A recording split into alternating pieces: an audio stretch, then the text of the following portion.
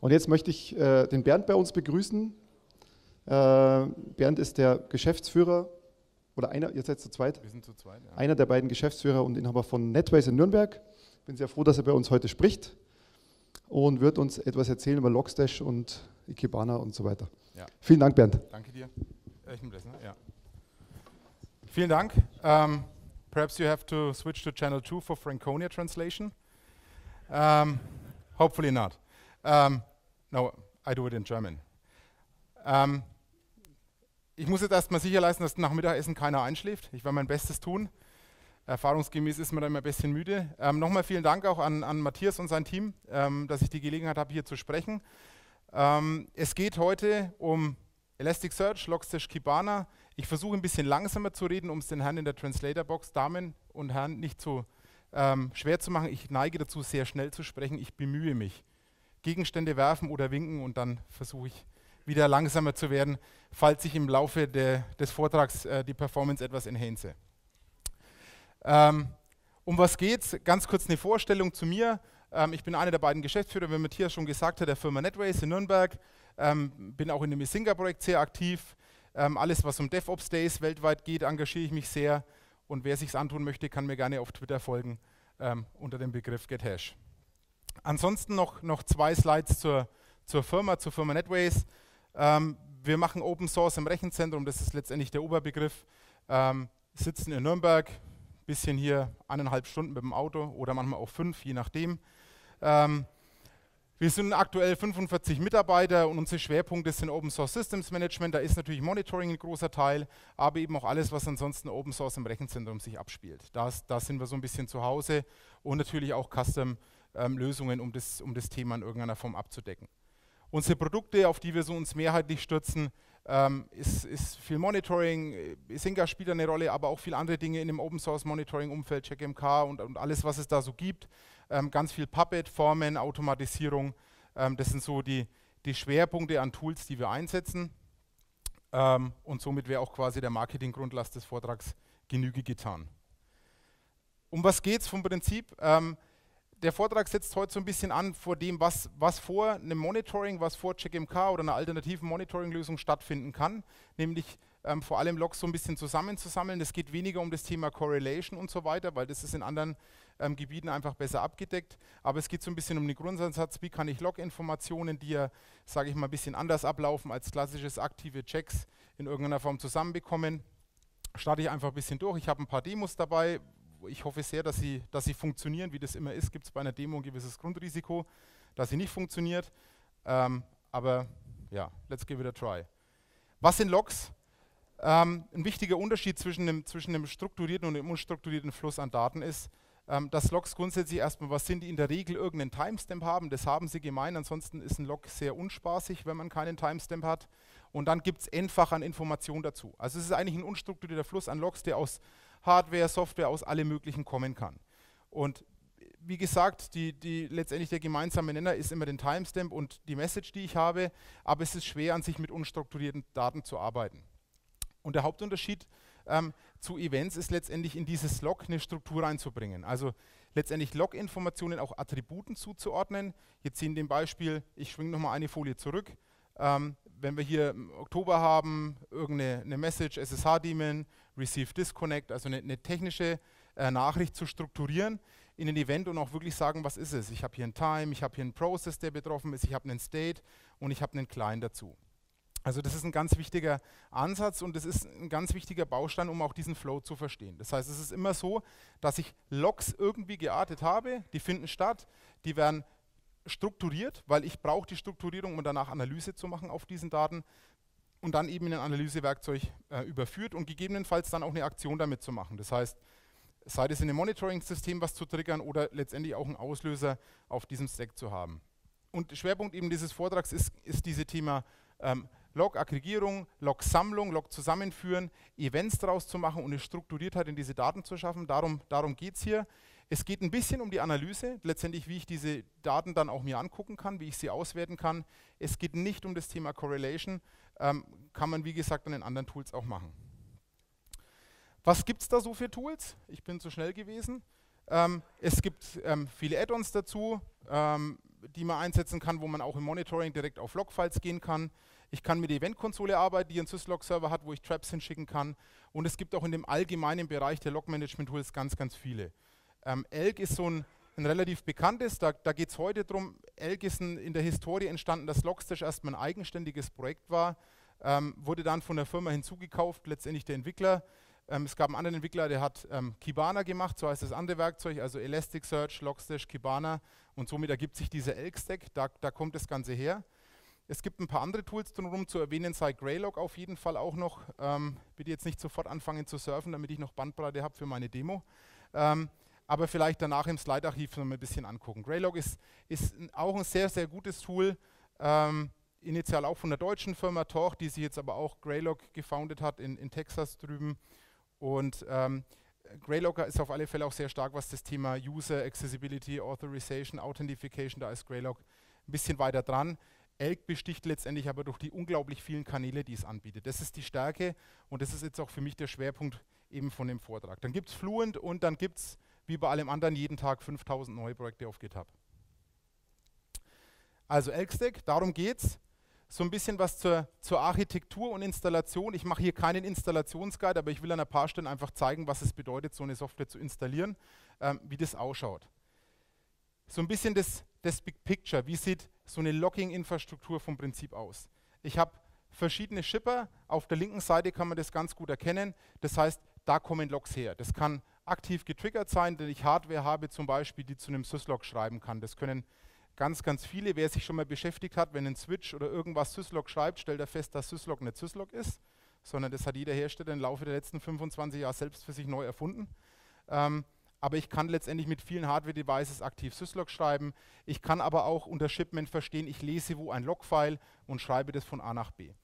Ähm, dann kann ich das Ganze, und das ist was, was kein Architekturmuss ist beim Logging, aber das empfiehlt sich auf jeden Fall, mit einer Message Queue entkoppeln. Ähm, und als Beispiel dieser Message Queue gehe ich in meinem Demo auf Redis ein. Redis ist eine dieser, dieser Queue, so eine NoSQL-DB letztendlich, wo man aller FIFO oben was reinsteckt und es unten wieder rauszieht.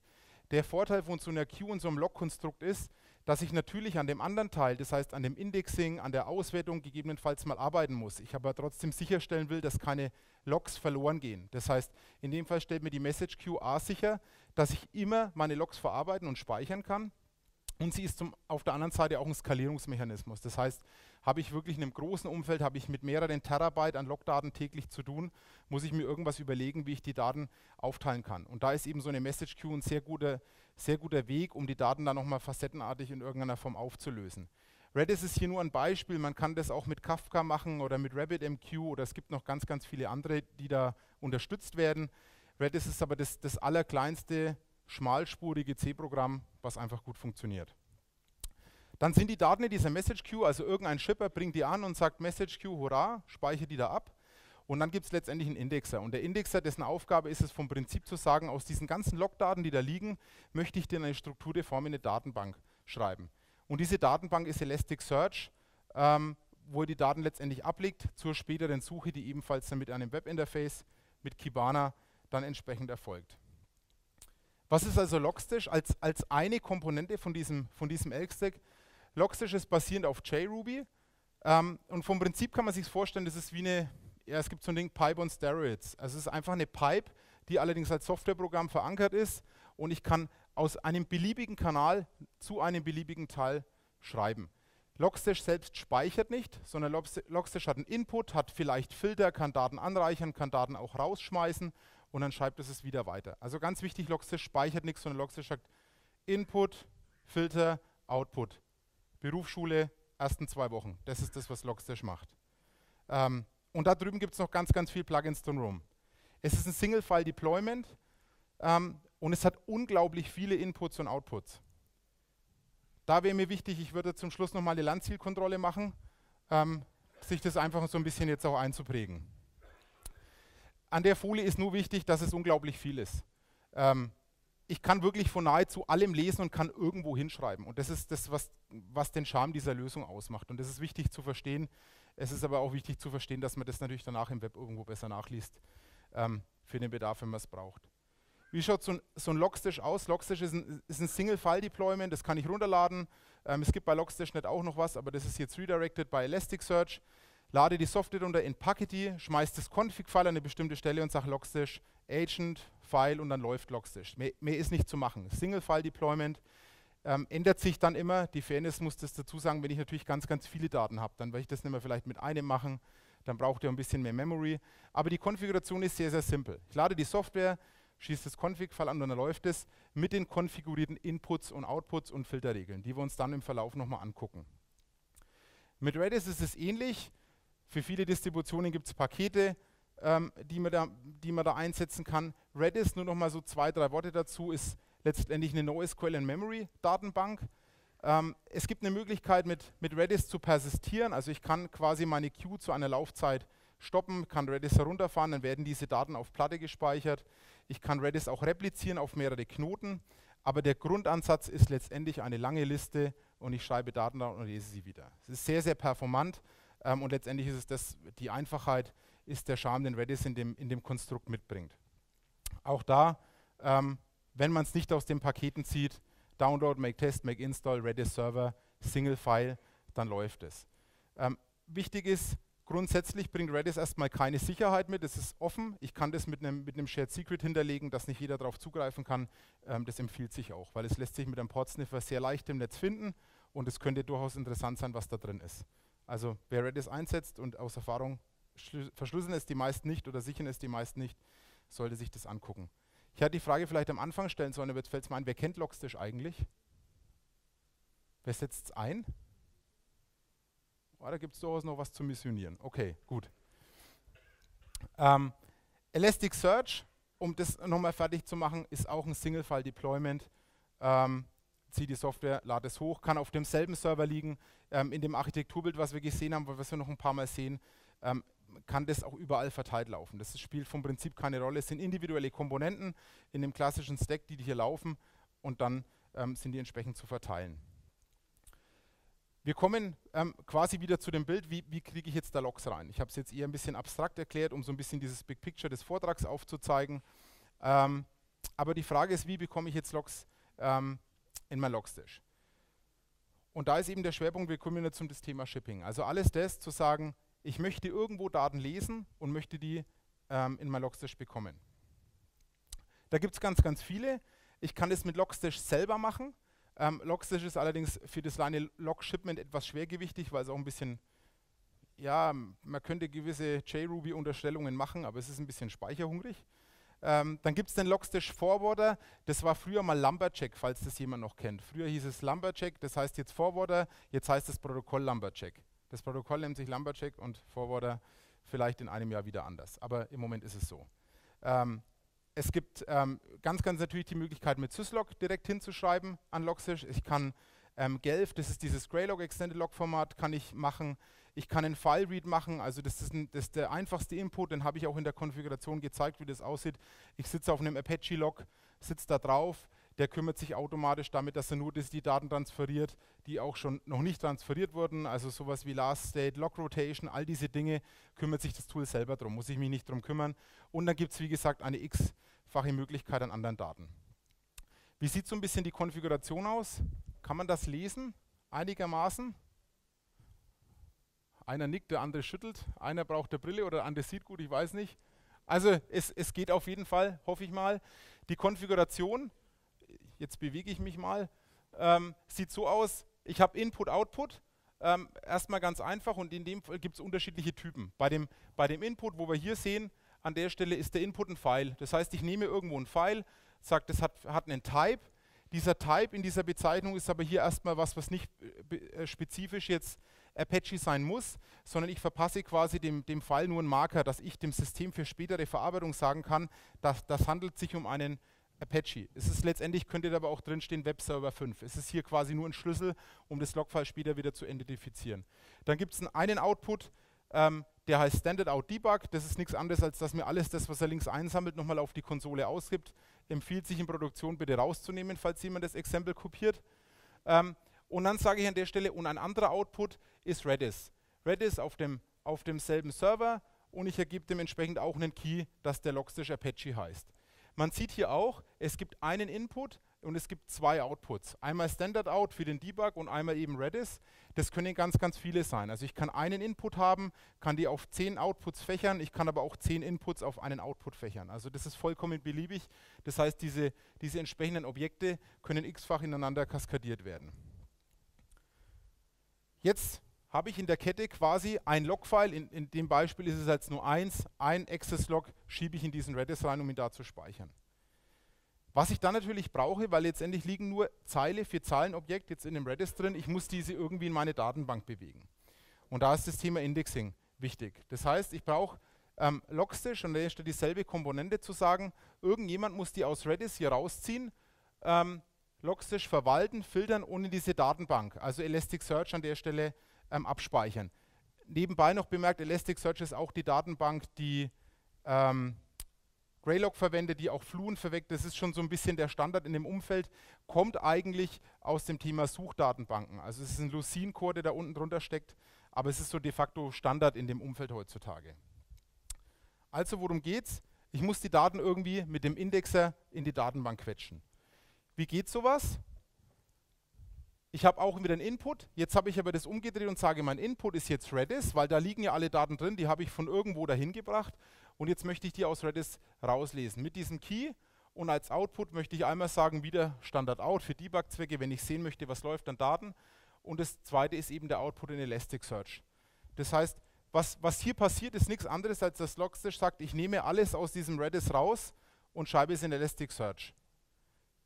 Nur nochmal, um es zu verdeutlichen, ich bräuchte Redis in dem Fall nicht. Ich könnte direkt auch File lesen und direkt in Elasticsearch schreiben. Also diese Redis-Zwischenstelle ist ist nicht, zwicht, äh, ist, ist nicht äh, zwingend erforderlich, aber es empfiehlt sich einmal, sobald man ein bisschen mehr damit macht, dass man das nochmal entkoppeln kann. Ähm, ja, was habe ich jetzt drin? In dem Elasticsearch habe ich meine Daten. Wichtig ist, die Daten sind genauso lausig und strukturiert wie zuvor, denn ich habe die noch nicht in keiner, in keiner Art und Weise zerstückelt. Ich habe nichts anderes gemacht, als zu sagen, Zeile Logfile nach Elasticsearch zu schreiben. Das heißt, ähm, die Quantität hat sich in dem Fall weder verbessert noch verschlechtert, aber die Qualität ist genauso, genauso schlecht. Und da ist ein ganz wichtiger Punkt an der Stelle des Indizes, die Daten wirklich qualitativ zu bearbeiten.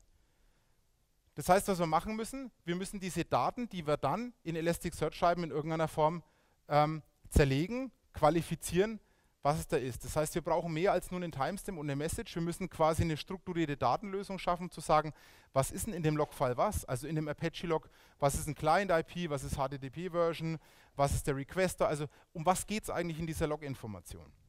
Und da bringt Logstash was mit, das nennt sich Grog. Ähm, Grog ist vom Prinzip äh, die Idee, ein, ein Logfile eben in diese Strukturteile zu zerteilen, zu sagen, ich habe eine Zeile und ich kann in Grok genau über gewisse Patterns definieren, was ist was und kann es weiterverarbeiten.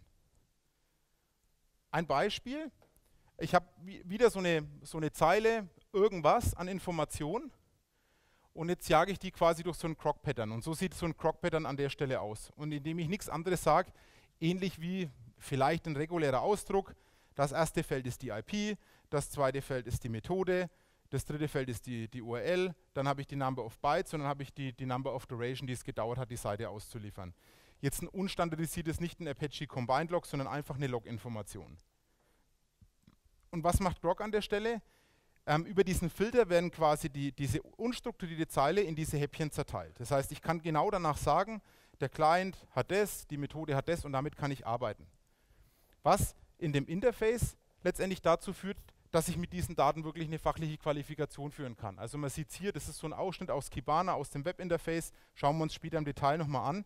Ähm, da habe ich wirklich qualifiziert, wie oft wurde denn diese IP in einem gewissen Timeframe vorgefunden in einem Logfile. Also ich habe eine Qualifikation der Daten und wie das genau ausschaut, gucken wir uns mal an. Ähm, ganz wichtig dazu, man kann diese ganzen Croc-Patterns selber schreiben, aber da macht Sinn, man kennt sich schon ein bisschen damit aus. Wenn man das nicht hat, sondern sagt, ich habe eigentlich irgendwie ein Logfile, irgendwas, aber ich weiß nicht so genau, was es ist, dann gibt es so einen Croc-Constructor. Die URL dafür steht auch in den Slides. Es gibt mit Sicherheit ein Konferenzarchiv, denke ich mal, da ist es danach dann drin, da kann man das sehen. Und ähm, es gibt zwei Mechanismen, wie ich da rangehen kann. Zum einen sage ich, ich habe überhaupt keine Ahnung, was das ist. Ich habe irgendein Logfile irgendwoher ähm, und ich möchte mal das in irgendeiner Form interpretieren. Dann kann ich einmal so eine Zeile nehmen, das ist so ein letztendlich Demo, Demo-Datensatz, den ich hier habe, den habe ich schon reinkopiert, aber ich mache es nochmal. Sieht man das? Oh nee, das sieht man nicht. Und ich hätte noch eine halbe Stunde weitergemacht, wenn es mir keiner gesagt hätte. Ähm, jetzt? Ja. Also in diesem Croc Constructor gibt es zwei Möglichkeiten, damit zu arbeiten. Einmal ist es der, der automatische Erkennung. Das heißt, ich nehme eine, eine Line-Log, die ich habe, oder auch mehrere da rein und sage einfach mal Go. Und dann macht er mir nichts anderes, als zu versuchen herauszufinden, was ist das beste Croc-Pattern, was dafür passt. Also was wird es vermutlich sein. Und er kommt relativ schnell darauf, Greedy Data ist quasi alles und nix, also es ist ein sehr schlechtes Pattern, aber er findet relativ schnell raus, das ist wohl ein Common Apache Log. Anhand der Struktur dieses Logs weiß er, da handelt es sich um ein Apache, weil ich finde so die Felder, die in einem Common Log irgendwie sein müssten. Das funktioniert je nach Log gut oder schlecht. Mit Standard-Logs funktioniert der, der Automatch eigentlich ziemlich gut wenn man nicht weiß, was es ist. Also viel leichter ist natürlich zu sagen, ich weiß, das ist ein Combined Apache Log. Und dann kann man das zweite machen ähm, mit dem Manual Match. Man kann quasi auch dieses, diese Log-Struktur hier wieder rein, sieht man es? Ja, reinkopieren und sagen, ich weiß eigentlich, das ist ein Common Apache Log. Und Common Apache Log ist jetzt ein Grok Pattern. Wie sieht es aus? Hinter diesem Grog-Pattern versteht sich nichts anderes als immer diese regulären Ausdrücke. Also das, was man sich sonst per Hand zusammenfummelt, ist quasi schon in Patterns hinterlegt. Und wenn wir jetzt da mal suchen nach Common Apache, dann sieht man, dass hinter diesem Log-Format Common Apache quasi die einzelnen Stückchen fest schon vorgekommen sind und diese Templates liefert Logstash einfach mit. Wie sieht es dann aus? Ich sage, ich nehme diese Zeile, klatsche die hier rein, sage, ich glaube, das ist ein Common Apache Log, sage Go und dann sehe ich unten ähm, bereits, wie er quasi diese Logzeile in Fachlichkeit zerteilt hat. Und mir sagt, okay, ich weiß, das ist HTTP-Version, Request-ID, Timestamp, also all die Dinge, die in einem Apache-Log wichtig sind, die werden quasi als strukturierte Daten aufbereitet und eben dann in Logstash übertragen.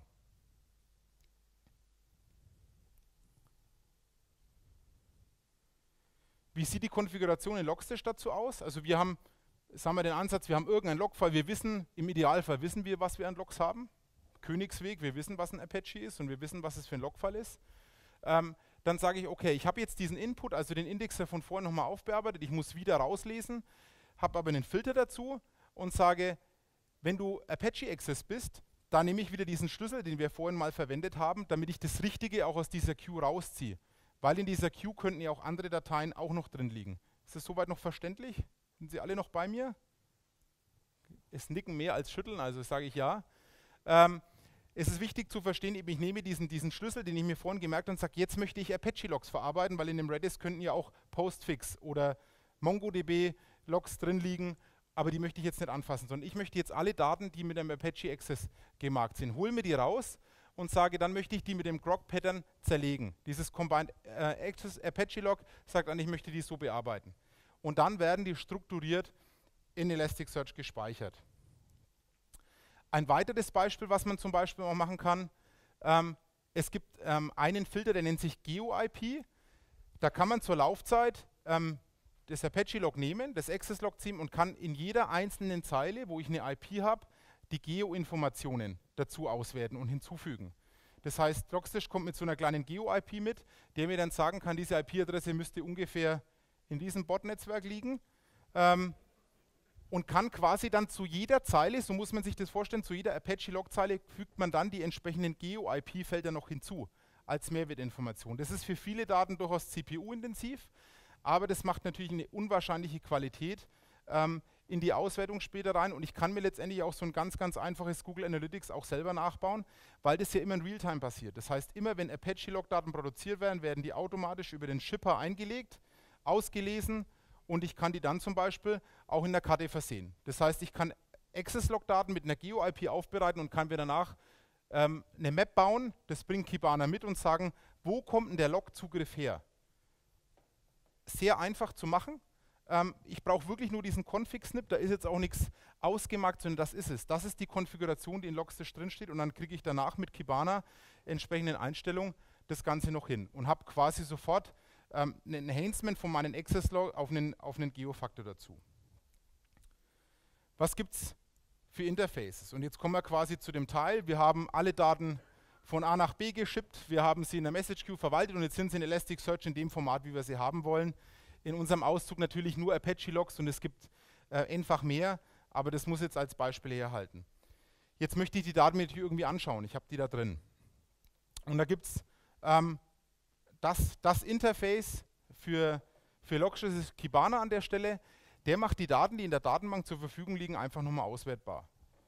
Und wie das jetzt ausschaut, das gucken wir uns an.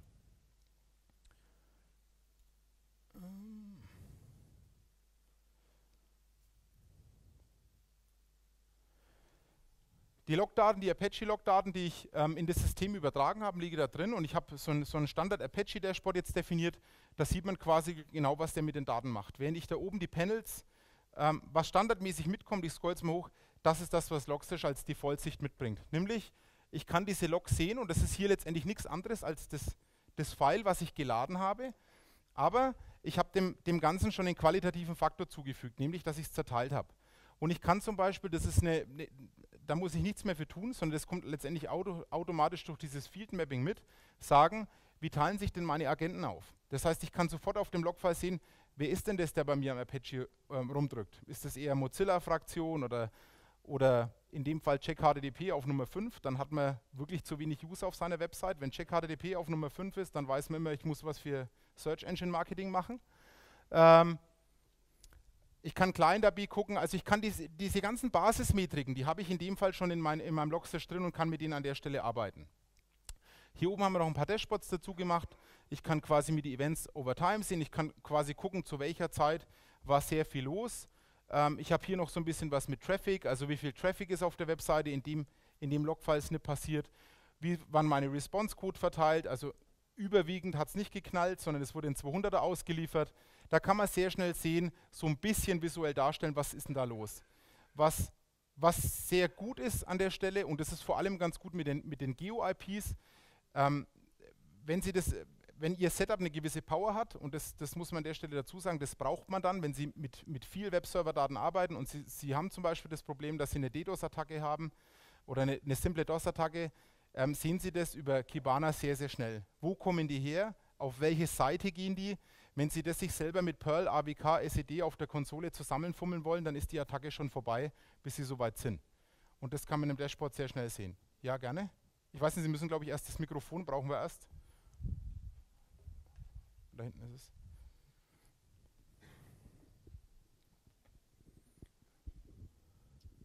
Ähm, bleibst du schon? Ja. ähm, die Daten, die Sie unten gezeigt haben, die, die in der Objektstruktur sind, die, dieses RAW-Format, habe ich eine Möglichkeit, über die Weboberfläche mir die Sachen zu exportieren, dass ich die woanders hinschicken kann oder ist nur via Webzugriff auf diese Daten zuzugreifen? Ähm, es gibt eine API dafür, kommt dann auch nochmal, aber Sie müssen die Daten vom Prinzip, die, die Daten liegen ja, Elasticsearch schreibt die in diese Datenbank, also Logstash schreibt die in Elasticsearch. Sie können aber an der Stelle, wo der Output hieß, Elasticsearch, auch nochmal einen anderen Output definieren und sagen, schreib mir die wieder ins File.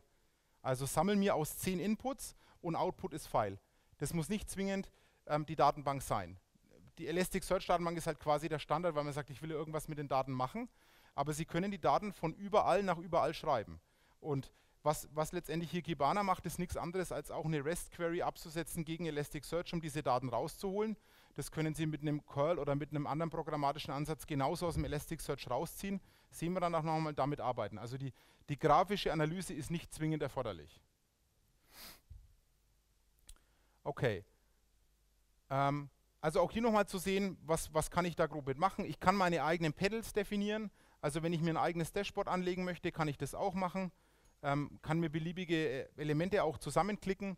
Ähm, man kann das auch hier nochmal sehen. Also ich kann hier irgendein Pedal hinzufügen, sagt, was möchte ich hier haben. Ich möchte verschiedene Terms einsetzen, kann mir die einbauen. Das heißt, ich möchte es jetzt nicht mit dem, mit dem Config von, von Kibana, weil das würde einfach so ein bisschen den Rahmen sprengen aber ich kann quasi hier mir irgendwas reinbauen, was ich auswerten möchte, die HTTP-Version, nochmal eine eigene Liste und dann kriege ich das hier nochmal rein. Dauert jetzt ein bisschen vom Laden, bekomme ich hier die Verteilung der HTTP-Version an. Also es gibt ganz, ganz viele Objekte, die Kibana mitbringt. Dieses eigentliche Dashboard müssen Sie sich aber selber bauen. Also an sich, Kibana kommt blank und Sie setzen sich dann die Daten, die Sie haben, so zusammen, denn Kibana weiß nichts, was Apache ist. Kibana arbeitet mit Daten, wertet die aus. Sie müssen wissen, was Sie angucken wollen. Ähm, aber Sie sind natürlich unglaublich flexibel, wie Sie es anzeigen wollen. Und ein weiteres Beispiel, das ist jetzt mit der neuesten Kibana-Version. Ähm, was man auch zum Beispiel damit machen kann, man kann mit S-Flow-Daten arbeiten. Also wenn man von seinen Switches die S-Flow-Daten, die kann man auch ähm, durch Logstash durchpumpen, dann kann man sofort in Realtime sehen, was läuft bei mir netzwerkmäßig ab. In dem Beispiel hier ähm, kann ich die Traffics per Source legen, sage, wo kommt der her, ähm, was ist meine, meine aktivste IP, was ist mein aktivster Port, hier ist 3306 der zweitaktivste, mit wie viel Megabyte, der quasi in einem bestimmten Intervall, wir sehen hier im Zeitfenster, sind immer die letzten 15 Minuten. Ich kann das Fenster quasi auch beliebig aufziehen. Ähm, wenn Sie jetzt aber dann eine Analyse machen auf vier Stunden und Sie haben nicht genügend Wumms in der Kiste, dann wird es eng. Also klar, wenn Sie hier eine drei Stunden Traffic-Auswertung machen wollen auf x Terabyte Daten, müssen Sie entsprechend die Hardware auch dazu haben. Das auf dem Raspberry Pi, no. Ähm, aber das ist wie immer halt, die Frage ist, ist es einem wert? Ähm, mir ist es das wert, das zu sehen, ähm, aber das muss jeder einfach auch für sich entscheiden. Das Charmante ist an dem, an dem Interface, ich gehe noch mal ein bisschen runter, man sieht jetzt hier zum Beispiel die, ich hoffe, man kann es einigermaßen erkennen. Man sieht so ein bisschen, welche Ports geht es hin, was sind hier die, die IP-Adressen, die Ports. Man kann hier quasi auch nochmal eine Linie sehen, was ist besonders aktiv. Und dann kann ich quasi, hier oben habe ich Source und hier unten habe ich Destination. Dann kann man eigentlich wunderbar sehen, wo läuft denn mein Traffic. Von wo nach wo wer ist aktiv. Wir haben hier nochmal die VLANs anstelle drin. Jetzt kann ich aber sagen, okay, ähm, das ist jetzt der Überblick, mich interessiert aber nur 3306. Ich will wissen, was mit MySQL läuft. Dann klicke ich auf den Barchart. Habe ich jetzt nicht getroffen. Dann wird diese, dieser Hinweis zu sagen, ich möchte Port 3306 als Filter für das komplette Dashboard gesetzt. Das heißt, die Daten werden jetzt aktualisiert, ausschließlich auf Source Port 3306. Das heißt, das komplette Dashboard hat sich jetzt angepasst, nur noch Daten MySQL mir anzuzeigen. Das heißt, ich kann sofort sehen, welches VLAN ist besonders aktiv mit MySQL. Ja, das ist, ein, das ist ein Filter. Also ich kann wirklich als, als Drilldown damit den Filter setzen und kann sofort meine Daten analysieren auf Basis von dem. Dann kann ich sagen, hier mein VLAN 7 ist proportional aktiv, hat 2,355 Megabyte in den letzten 15 Minuten auf MySQL gemacht. Dann gucke ich mir das VLAN an dann werden alle anderen Objekte auf diesen VLAN eingeschränkt. Dann kann ich sagen, okay, wo gehen denn die hin, auf welchen Port oder welcher Server ist es denn? Weil den kann ich relativ gut identifizieren, da steht die IP dabei. Und dann kann ich sagen, wo gehst du denn hin? Mit welchem anderen konfigurierst du denn? Source Destination. Das heißt, ich kann auf, auf VLAN, Source, Port-Ebene, IP-Ebene genau sagen, wo fließen Daten. Und es ist genau derselbe Mechanismus wie der Apache-Log. Das Einzige, was wir machen, ist, wir schieben S-Flow-Daten in Elasticsearch, und das Dashboard, dass Sie das so haben, wie es hier ausschaut, das kostet Sie vermutlich einen Tag, ein paar graue Haare, weil da ist Arbeit zu investieren, das müssen Sie selber machen. Das macht Kibana nicht, weil der weiß nichts von Netz. Ähm, aber die Arbeit lohnt sich. Das Dashboard können Sie dann speichern, geben Sie es dem Kollegen ähm, und dann können das letztendlich in einem geschärten Kontext sagen. Ich glaube, Sie hatten eine Frage, richtig? Aber wir müssen aufs Mikrofon warten.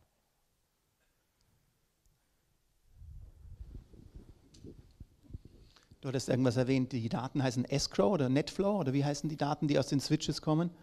Das, was wir jetzt machen, S-Flow, das ist aber nicht so 100%. Es gibt Netflow, es gibt S-Flow, es gibt verschiedene. Und es gibt auch verschiedene S-Flows. Ähm, das ist die unschöne Sicht. Aber da kann Logstash nichts dafür, das ist, weil die äh, Hardwarehersteller Idioten sind. Und mit welchem Agent hole ich das ab? Ähm, Sie können an dem Switch konfigurieren, das ist meine S-Flow Destination und Logstash kann das verarbeiten. Sie sagen in dem Switch, mein, mein S-Flow Target ist mein Logstash Server IP-Port und da haben Sie quasi einen, einen S-Flow-Input und der zerhackt Ihnen den S-Flow-Input dann eben rein. Das ist genau dieses, diese Liste an verschiedenen Inputs und Outputs, die es gibt. Aber vom Prinzip ist es Switch konfigurieren, S-Flow Target ist Logstash, Logstash Input wäre dann S-Flow, wird gefiltert und dann Output in Elasticsearch und dann liegen alle S-Flow-Daten in Elasticsearch zugrunde. Okay, ich gehe wieder zurück zu dem Slide Deck. Neben dem neben dem Interface gibt es, und da war vorhin auch die Frage, eine API.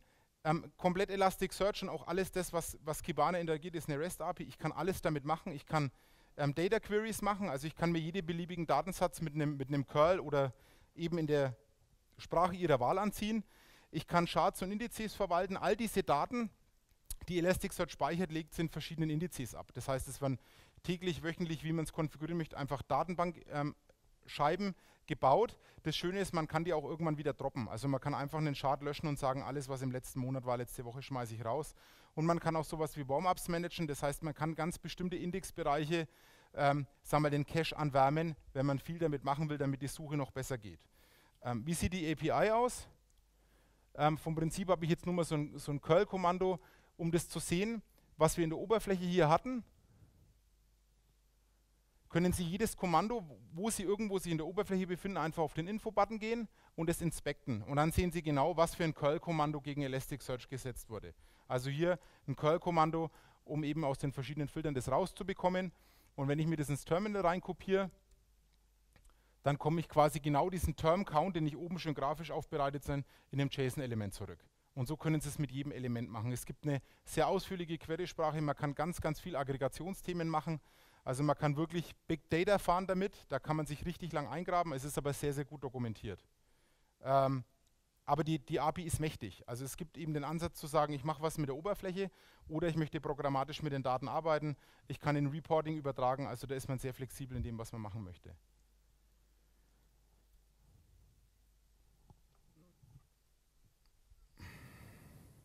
Okay. Demo hatte ich schon.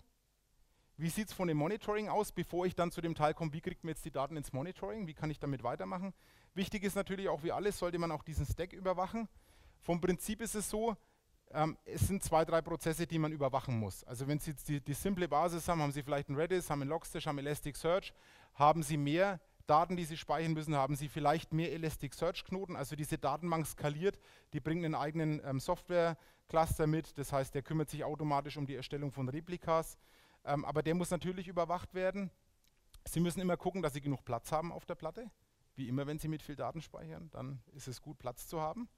Ähm, Storage ist ein wichtiges Thema, aber das ist alles Basis-Monitoring-Disziplin. Also die Überwachung von dem Stack ist sehr, sehr einfach. Und Sie können letztendlich ganz normal über, über zum Beispiel so ein Kommando ähm, Node-Ping machen. Also das sehen Sie auch auf der Oberfläche und dann bekommen Sie zurück, läuft der Cluster, in dem Fall ist es eine Node-Name, die ich hier als Demo habe. Ich kann in einem Cluster mehrere Nodes haben und die teilen sich dann in dem Elasticsearch auch automatisch die, die Anfragen auf, teilen sich die Speicherung der Objekte auf und es ist sehr, sehr, sehr, sehr übersichtlich. Ähm, es gibt für das, für das Management und für die Überwachung von dem Elasticsearch selbst auch noch ein eigenes Interface. Das nennt sich Elastic HQ. Es gibt eine kommerzielle Variante von Elasticsearch, aber Elastic HQ ist eine Open Source Variante, wie man es überwachen kann. Und da kann ich auch relativ genau reingucken. Ähm, wie sieht aktuell mein Stand vom, vom Monitoring aus? Kann man es jetzt sehen? Nee, Moment. Ähm also hier zum Beispiel kann ich mich mit ihm verbinden und dann sehe ich sofort, ähm, wie viel wie viele Indizes sind da drin, wie viele Dokumente, also wie viele Lines habe ich schon reingeladen. Das Demosystem liegt jetzt ungefähr seit vier Tagen und spielt immer wieder dasselbe Apache-Log rein. Also für das System ist es relativ langweilig, aber für die Demo reicht es absolut aus. Ähm, man sieht also, es gibt schon über eine Million Dokumente und 561 Megabyte ähm, an Daten, die da drin liegen. Und ich kann mit Elastic ähm, HQ so ein bisschen einen Überblick behalten. Was liegt wo, welche Nodes haben was, wie schaut es mit Memory Consume aus. Auch das kann ich mir angucken, kann quasi auf den einzelnen Knoten draufgehen und sagen, ähm, wie sieht es bei dir aus mit der Auslastung, Garbage Collector. Jeder, der, der im Java-Umfeld mal geweint hat, dem werden die einzelnen Zahlen was sagen. Ähm, und kann man so ein bisschen einen Überblick behalten über seinen Elasticsearch-Knoten. Ähm, für mich wichtig, dass Sie wissen, dass es das gibt. Da muss man im Detail auch damit mit Indizes, Verwaltung, da kann man ganz, ganz viel machen. Wichtig ist, dass Sie mal gehört haben, es gibt Elastic HQ.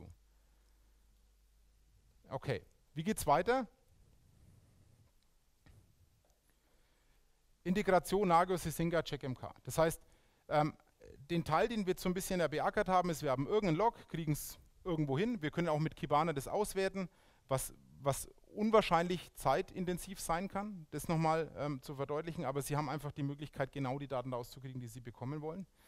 Ähm, aber Sie wollen die Daten ja vielleicht irgendwie auch ins Monitoring reinkriegen. Sie möchten sagen, okay, ich möchte im Realtime, das heißt, ich möchte wirklich im Fluss, wie die Daten kommen und eben nicht alle fünf Minuten irgendwo ein Log durchgrasen und auf ein bestimmtes Pattern searchen, sondern sagen, alle Logs, die von irgendwo zusammenkommen, die möchte ich auf dem Pattern durchsuchen.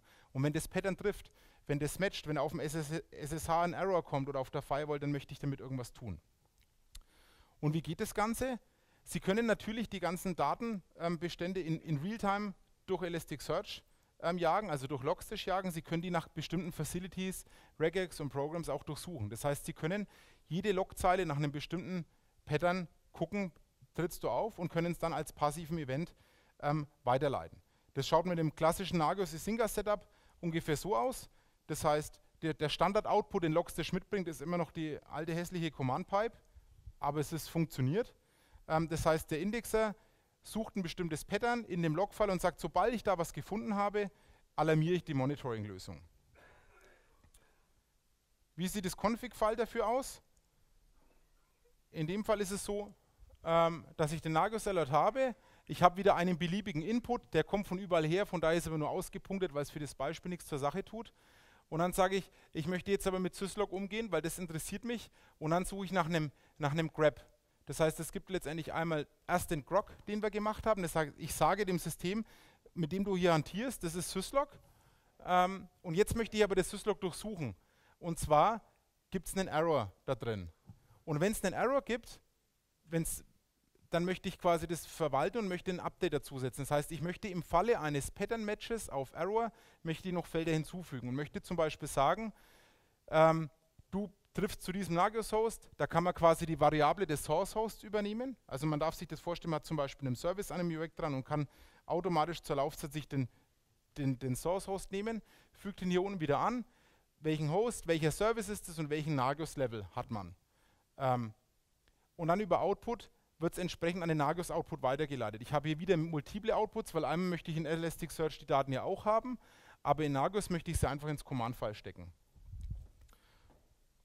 Und dann kommt der Alert letztendlich im Monitoring an. Das heißt, was passiert? Alle Daten werden gefiltert. Sobald das Pattern Error getroffen wird, wird ein bestimmter Host, ein bestimmter Service mit einem Critical versehen und kommt im Monitoring hoch. Ja. Achso, Entschuldigung. Das ist ja dann Pattern-Alarmierung direkt äh, beim Dateneinlesen quasi. Ähm, aber es gibt auch noch Möglichkeiten, gibt es eine Möglichkeit, das praktisch später zu tun, wenn ich schon die Daten ausgewertet habe, zum Beispiel beim Apache-Log zu alarmieren, wenn das Verhältnis von 200ern zu den 500ern irgendwie einen kritischen Schwellwert erreicht. Das müsste ich ja dann in Elasticsearch dann machen. Das machen sie woanders. Ja. Das könnten sie zum Beispiel dann machen in der Event-Konsole. Das macht das Tool nicht. Es kann Basisaggregationen, einfache Dinge, mhm. ähm, aber es kommt im nächsten Beispiel, wie so ein Szenario ausschauen kann. Ähm, ich gehe mal die zwei Slides vor und dann sagen Sie im Zweifelsfall, wenn die Frage nicht beantwortet ja. worden ist. Gut, weil also das ist ja nichts anderes, was man mit Checklogs oder was man mit äh, Logwatch äh, jetzt an der Stelle ja, auch Doch ist es würde. schon, weil es ähm, Realtime ist. Okay. Weil Sie mit dem Logfile ah. immer wieder einen Logfile schauen und es ist auch ziemlich unperformant, wenn ja. Sie Terabyte an Logdaten durch die Gegend schieben, alle Logfiles ja. immer wieder aufzumachen. Das ist quasi, wenn Sie richtig viel Verkehr haben, auf, auf Ihrer Website zum Beispiel, wenn Sie da 300, 400 Webnodes analysieren wollen, auf Arrow in einem File, dann kriegen Sie das mit einem klassischen Check schwierig hin. Es wird irgendjemand sagen, ich habe es gemacht, klar, irgendwie geht es immer, ähm, aber es ist halt schwierig. Ähm, und da kriegen Sie es halt einfach auch in, einem, in, einer, in einer richtig großen Größenordnung, vor allem, weil an der Stelle hier nichts gespeichert wird sondern sie sagen, ich möchte in Realtime alle Logs durchgucken und nur wenn ein bestimmter Pattern, dann möchte ich was damit machen, ansonsten lasse ich es einfach vorbeirauschen. Ist jetzt vielleicht auch ein anderer Ansatz und das ist natürlich der Charme, Sie sehen sofort, dass was passiert. Und jetzt ist es zugegeben auch ein sehr einfaches Beispiel, weil ich sage halt Syslog und Error. Ich sage jetzt mal ja, okay, Sie ist halt high sophisticated, aber das kann man natürlich nach Belieben nach oben ziehen. Sie sagten ja zu Anfang, dass man in Kibana ja sehr schnell eine DOS-Attacke erkennen kann und ja. Äh, sofort sieht, wo es herkommt. Genau. Ich denke, das ist dann alarmwürdig. Also da Klar. muss ich dann richtig Aber letztendlich ist es natürlich auch wieder so, dass Sie, Sie sitzen ja nicht auf Ihrem Kibana, sondern Sie sitzen auf dem Monitoring-System. Und da kriegen Sie jetzt ziemlich viele Monitors, weil der, der, da geht es jetzt rund und dann gucken Sie natürlich auf Ihr Kibana oder Sie sehen, meine Last geht hoch oder mein Traffic. Das jetzt wieder ja, darauf an, es gibt viele, ähm, also ich kenne viele Umgebungen, die, die kümmern sich, da, da, ist ein Error, da ist Hardware, spielt da immer weniger Rolle, da geht es quasi nur noch um die Metrik. Da geht es quasi darum, hat sich mein, mein Gigabyte-Traffic in einem VLAN potenziell um n Prozent verändert zu sonst. Ob da irgendwas auf Error föhnt, egal, ja, sondern da geht es quasi nur, da wird nur noch der Metrikwert angeguckt, aber Sie sitzen natürlich nicht immer auf Ihrem Kibana. Ähm, ein Beispiel, wie man es dann eben weiterverarbeiten kann, weil das ist das, was Logstash nicht tut, wenn Sie mit der Eventkonsole, und da ist Matthias und sein Team und wahrscheinlich 90% von Ihnen viel besser drin als ich, aber es ist eigentlich ganz einfach zu sagen, ich möchte diese, diese Daten, die ich mir zusammengesucht habe, ähm, die möchte ich irgendwie auch in der Eventkonsole weiterverarbeiten. Dann gibt es einen ganz einfachen Weg. Sie können zum Beispiel den, den Syslog-Server enablen. Ähm, ich hoffe, dass es genau richtig geschrieben ist, ansonsten korrigiert mich jemand. Stimmt es? Schaut gut aus, okay. Ähm, das heißt, Sie können den Syslog-Server aktivieren, da geht es halt eine Version auch TCP und dann können Sie einfach bestimmte Patterns an die Eventkonsole weiterschieben. Das heißt, wir nehmen dasselbe Beispiel und sagen, Sie nehmen den Syslog Facility mit auf. Das heißt, Sie filtern bestimmte Patterns in Logstash oder nach was immer Sie suchen wollen. Ist wie gesagt hier einfach ein Beispiel und schießen die dann direkt weiter an den Syslog-Server von der Eventkonsole und darin können Sie dann Korrelation machen. Das heißt, Sie können jetzt hier sagen, alles was auf Error matcht, schiebe ich immer an den Syslog-Server weiter von der, von der Eventkonsole und darin habe ich eine Correlation und sage, wenn du öfters kommst als 500 Mal, dann möchte ich, dass nochmal was passiert weil die Eventkonsole, so wie ich es verstehe, die speichert nicht, sondern die geht letztendlich ja auch nur im Durchlauferhitzer durch und macht aber die Aggregation. Das heißt, da lassen sich, glaube ich, beide Tools ganz gut verwenden an der Stelle. Das heißt einmal die Realtime-Analyse, den Pattern-Match und dann aber die Korrelation in ein anderes Tool delegieren.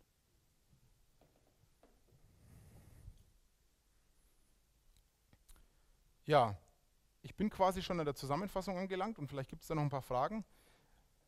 Zusammen, was es ist, ähm, der, der, der Charme der Lösung liegt in der, in der Vielartigkeit der Inputs und Outputs. Das ist das, was Logstash ausmacht und das ist das, was Logstash auch zu einem guten Baustein macht, um es mit anderen Tools zusammen zu verwenden.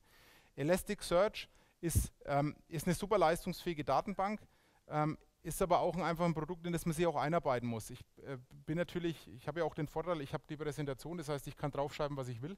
Ähm, und was, es stimmt alles in der Präsentation. Wenn Sie aber fünf Elasticsearch-Knoten haben, eigene Replikas haben und wenn Sie da Terabyte Daten reinschaufeln, dann wird es vermutlich der eine bin Elasticsearch-Start nicht tun. Dann müssen Sie sich schon mal das Config-File davon angucken.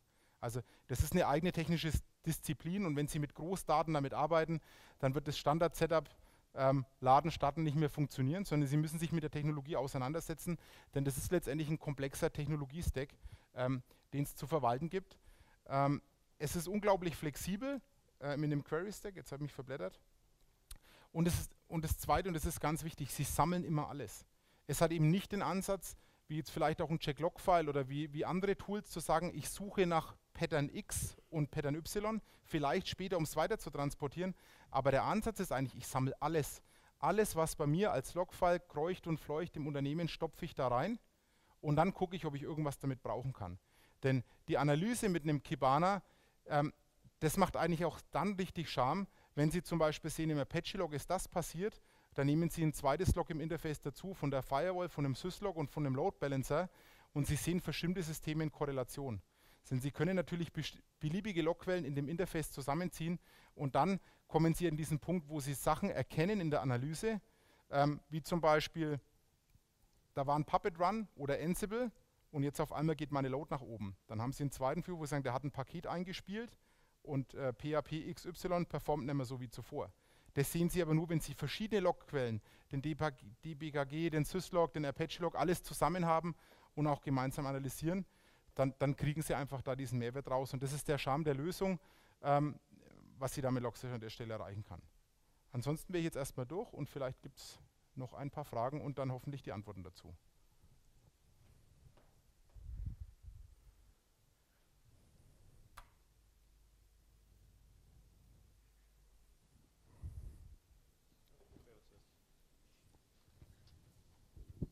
Ähm, können Sie mal ein paar Sätze noch zum Thema Housekeeping sagen? Das ist ja bei so Logsammellösungen häufig ein Problemfall.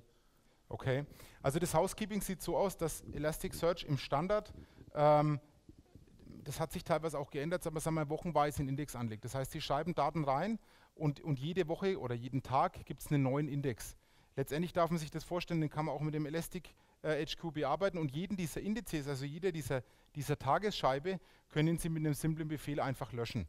Das heißt, das Housekeeping sieht, und das ist eine reine Frage des Geldbeutels, Geldbeutels was Sie als Housekeeping haben, da geht es nur ums Geld. Ähm, da können Sie quasi sagen, ich lösche alle Indizes, die älter sind als, und dann löschen Sie die Daten weg. Sie machen aber an der Stelle ähm, keine, keine Detaillierung mehr, welche Daten in dem Zeitraum. Das geht. Also Sie können mit Logstash sagen, Syslogs schiebe ich in einen Index, die immer ein Jahr aufgehalten werden. Apache Logs schiebe ich in einen Index, die nur einen Monat. Das müssen Sie aber dann im Vorfeld wissen. Dann können Sie verschiedene Daten auf verschiedene Index-Retentions auslegen und dann die Daten löschen. Aber ansonsten, das System löscht nichts, das müssen Sie machen. Der hebt auf bis zum Out-of-Memory und Out-of-Storage-Exception. Aber Ähm, Sie können, äh, nur, nur noch mal wichtig, wenn Sie unterschiedlich mit Retentions umgehen wollen, macht Sinn, bereits beim Schreiben festzulegen, was ist das für eine Art von Daten, die in eigene Indizgruppen anzulegen. Das ist nur ein Parameter. Beim Schreiben in Elasticsearch können Sie sagen, welchen Indiz nimmst du. Das ist ein zusätzlicher Attribut für diesen Elasticsearch Output und dann haben Sie das entsprechend schon einsortiert. Es ist auch sehr einfach, man muss nur drüber nachdenken. Ähm, du hattest äh, zu Beginn und jetzt auch zum Ende ja äh, besonders hervorgehoben, dass so viele äh, Inputquellen verarbeitet werden können. Dann hattest du auch gesagt, dass Redis oder irgendeine Message Queue ähm, sinnvoll ist. Äh, jetzt kann ich ja mit Syslog nicht direkt ein Redis schreiben. Ähm, was ist bei euch Best Practice dafür? Setzt ihr einen Logstash dazwischen dann noch wieder? Also schreibt Syslog an Logstash und Logstash an Redis und Logstash liest wieder von Redis oder habt ihr eine andere Lösung Genau gefunden? das. Also je nachdem, welchen Datenlieferant du hast, genau wie du sagst, du kannst ja nicht von Syslog in Redis schreiben, setzen wir einfach einen Logstash dazwischen. Der sitzt quasi vor dem Redis, wie ich es in dem ersten Beispiel des Shipments quasi gehabt habe. Der liest das Logfile aus einem File oder an irgendeiner Quelle und legt es in Redis ab. Aber das Einzige, was dieser Logstash-Teil macht, ist eben quasi die Daten in Redis abzulegen. Denn der Vorteil ist dann, diese, diese Logstash-Komponente, die quasi vor dem MQ liegt, die kannst du jederzeit rauf und runter fahren, weil du sagst, jetzt lese ich das Logfile halt nicht mehr. Das Problem ist quasi nur, wenn du zwischen Lese- und Indexvorgang in der Datenbank keinen Cacher hast, dann kannst du nicht mal deinen Index herunterfahren und ein bisschen was probieren, sondern du hast eigentlich das Problem, dass dir dann sofort Daten verloren gehen. Und deswegen ist dieses Abstraktionsbeispiel nochmal da. Aber ja, wie du sagst, nochmal Logstash davor, Syslog Input, Redis Output ist das Beispiel dafür. Ich würde mal vermuten, dass das Ganze auch ähm, ziemlich abhängig ist, äh, möglicherweise wie tricky man halt sein System letztendlich konfiguriert. Äh, Gibt es da so, so mal aus, aus dem Nähkästchen geplaudert, äh, mit irgendwelchen RAM-Disks, was weiß ich, Filesystemen, welche Filesystemtypen sind, sind besser als andere im Zweifelsfall fort, äh, vorzuziehen? Um Elasticsearch abzulegen, Nee, um grundsätzlich äh, ein optimal ein brauchbares System halt zu haben an der Stelle. Also so ist, äh, Mir nur nicht sicher, ob ich die Frage jetzt richtig verstanden habe. Also geht es darum quasi, da, wo, das, wo die Software läuft oder wo zum Beispiel Elasticsearch die Daten ablegt? letztendlich, äh, mir geht es jetzt eigentlich letztendlich um den Indexer und, und, und, und angenommen, ich habe alles auch letztendlich auf einem System laufen, Ja. äh, um einfach mal ein bisschen rumzuspielen, mal Erfahrung zu sammeln bei, was weiß ich, so 300, 400 Logfiles, die kommen, das ist nicht ein Riesending, aber wo man mal sagen könnte, okay, äh, sollte man von vornherein möglicherweise so und so aufziehen, das System, auch wenn man es dann später noch erweitern will an der Stelle. Okay. Also was eine Best Practice natürlich ist, dass in der Regel, so ist zumindest die Erfahrung, dass es immer eine Gruppe an Logs gibt, die, die werden sehr häufig analysiert und es gibt eine Gruppe an Logs, die analysiert man nicht so häufig. Aber man will sie halt haben, weil einmal im Jahr jemand kommt von der Revision und sagt, das. Ähm, da würde ich quasi schon grundsätzlich am Anfang auch ähm, unterscheiden, in welche Indexbereiche sie spielen. Das heißt, ich kann, ähm, wenn ich, wenn ich ähm, Elasticsearch skaliere, sagen, ich möchte eine bestimmte Gruppe an, an, an Charts und Replikas zum Beispiel auf sehr performanten Servern verarbeiten, weil da weiß ich, ich habe eine hohe Suchfrequenz, die man dann halt mit ja, SSDs ausstatten kann. Ich habe aber Daten, die werden auch immer wieder regelmäßig geschrieben, ähm, die brauche ich aber nicht so oft. Dann kann man die letztendlich auch irgendwas was ganz Langsames mit viel Platz legen. Also es gibt zwei Möglichkeiten. Entweder man hat quasi bei, beim, in, dem, in, dem, in dem Teil des Projekts beim Sizing, weiß man schon relativ genau, wie ich mit den Logs später umgehe. Die zweite Möglichkeit ist, ich kann auch später einzelne Indizes aus dem Elasticsearch umgruppieren, von einem Server auf den anderen. Und Elasticsearch ist auch so clever, mir dann bei der Suche die unterschiedlichen Daten zusammenzusammeln. Also er weiß, wo welche Daten im System sind. Ähm,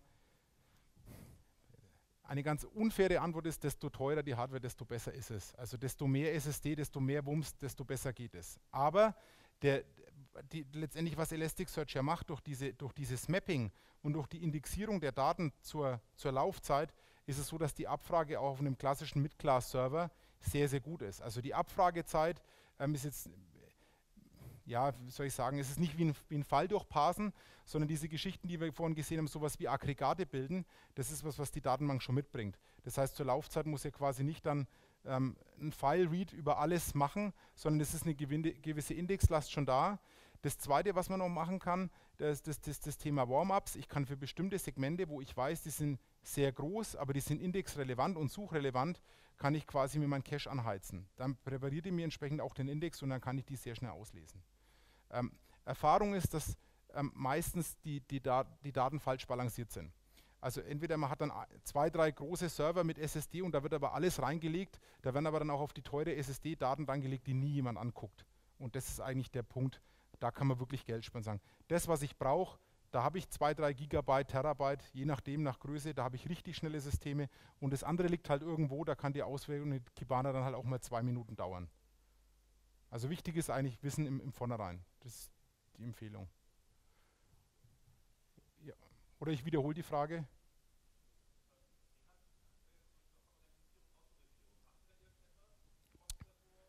Okay. Ich wiederhole die Frage. Äh, die Frage ist, ob es Authentifizierung, Autorisierung. Ähm, Kibana hat in der, in der, in der Open Source Variante gibt es nichts. Es gibt eine, äh, eine Enterprise Variante dazu, das nennt sich Shield. Ähm, vom Prinzip gibt es nichts. Also wer auf das Kibana kommt, kann alles sehen. Wir, wir sind dabei, wir, wir haben einen eigenen ähm, Proxy geschrieben, der das tut ähm, für ein Kundenprojekt, der, der, macht nichts anderes als Shield. Also wir haben Shield nachprogrammiert. Ähm, das ist aber nicht Open Source, weil es noch nicht fertig ist. Ähm, und sobald es fertig wird, wird es dann auch auf GitHub Open Source sein. Und das ist letztendlich ein Shield Replacement, der so ein bisschen mit Autorisierung äh, umgehen kann. Also ganz klar, das ist in der Lösung an sich nicht so betrachtet, sondern da ist so, wer auf das Kibana drauf kann. Man kann das so ein bisschen abstrahieren, dass man bestimmte Daten wenn man es jetzt nicht fein granular haben will, sagt, bestimmte Daten kommen auf bestimmte Elasticsearch-Knoten, ähm, dass man die noch ein bisschen Zugriff schützt, ansonsten gibt es nichts. Da ist Graylog stärker in dem Bereich, was das angeht. Mir ist aber auch wichtig dazu, das ist auch die Stärke von so einem Ansatz. Also ich meine, klar, Security muss jeder für sich selber beurteilen, aber der Charme von so einer Lösung ist eben vielleicht auch Logfiles zu sehen in der Analyse und in der Korrelation, die ich sonst eigentlich nicht sehe, weil das macht die andere Abteilung. Aber das Storage-Log kann in, in, Korrelation mit dem Oracle-Log natürlich auch interessant sein. Die Frage ist, ob man das intern irgendwie durchsetzen kann. Aber wenn man es kann, ist der Vorteil an der Lösung, dass man eigentlich so viel wie möglich sehen kann, weil dann kann man diese Querverbindungen auch herstellen.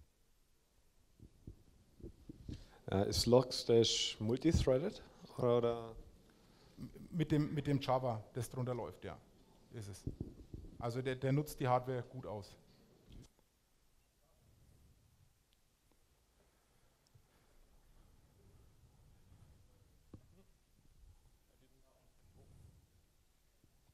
Achso.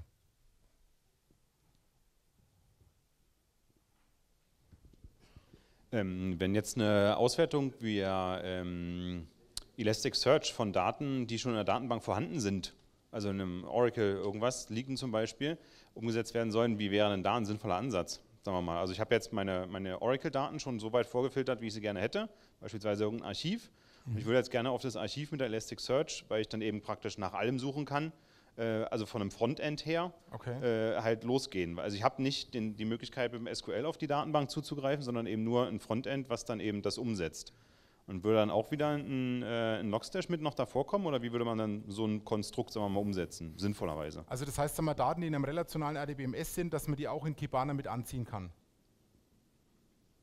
Ist das so die Frage? Na, eigentlich möchte ich sie bloß mit Elasticsearch nach irgendeinem Feld suchen können, weil es ja sehr zügig ist, das Elasticsearch. So. Dann müssen Sie es in Elasticsearch laden. Das okay. heißt, die Daten aus der Oracle-Datenbank exportieren, mhm. ähm, CSV, whatever, ja. mit dem entsprechenden Input. CSV, es gibt auch, ich bin mir nicht genau sicher, es gibt auch ähm, Datenbank-Inputs, die das auch können. Ja. Die sind nicht im, im, im Standardumfang dabei, aber es gibt Community-Plugins für Logstash, die von der Datenbank lesen. Bestimmte Tabellen, eine SQL-Query machen ja. und dann automatisch die Daten in Elasticsearch legen und dann werden sie entsprechend indiziert. Alles klar. Wenn Sie diese Daten nicht korrelieren wollen, wenn Sie, also brauchen Sie dann eben, wenn Sie diesen Oracle-Satz auch mit anderen Daten in Ihrem Nee, das nicht mehr. Ich habe ich hab ein Archiv, wo halt bloß noch eben die Daten in dem Archiv schon bloß noch die Daten drinstehen, die mich als Archiv interessieren. Okay. Und ich möchte aber jetzt mit der Elasticsearch, weil die ja relativ zügig ist, von außen halt auf diese Daten eben zugreifen. Aber ich habe eben nicht. Aber Sie gesagt, möchten nicht die Oracle-Daten mit einem anderen System korrelieren? Nee, das brauche ich nicht mehr. Hm. Gut. Naja, das Problem ist, ist, sind, die, sind in der Datenbank schon normalisiert? Ja. Dann ist die Datenbank schneller. Ja. Ähm, die, also, die also müssen wir uns was anderes aussuchen, um dann an die Das Problem ist, die Daten, die Auswertung ist schlecht. Also Oracle kann natürlich die Daten in einem, in, einer, in einem, normalisierten Datenmodell immer schneller auslesen und im Zweifelsfall, wenn man es weiß, wie es geht, auch besser indizieren mhm. als Elasticsearch, aber die, die Auswerteluxus schaut halt schlecht aus. Außer Sie haben ja. irgendwie den Enterprise Oracle Superbilder, dann, dann geht es irgendwie. Aber ja, kann ich verstehen, ist ein valider Ansatz. Also dann würde ich mir die Daten aus der Oracle exportieren, CSV, Input machen, Elasticsearch und dann können Sie mit Kibana die auswählen. Ja, es macht Sinn. Und Sie müssen sich selber natürlich nicht mit der Indexgestaltung in Oracle auseinandersetzen mhm. oder Materialized Views oder was es da so alles gibt, aber das ist halt wieder eine eigene Disziplin. Ja, das ist total valide. Alles klar, Ja. okay.